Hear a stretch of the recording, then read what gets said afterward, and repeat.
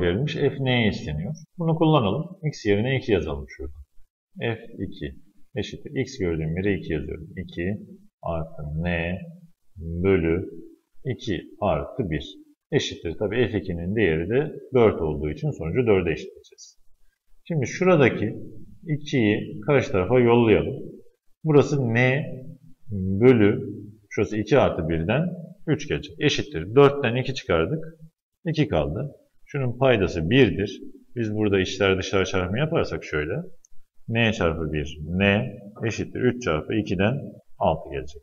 Yani n sayımız 6. Şimdi n sayısını yerine yazalım. Bizim fonksiyonumuz şuna dönüştü artık. fx eşittir. n yerine 6 yazacağız. Şurası x. Artı n yerine 6 yazıyorum. 6 bölü x artı 1. Bizden istenen fn değeri. fn neyimiz 6 olduğu için yani bizden istenen f6 aslında. x yerine 6 yazıyorum.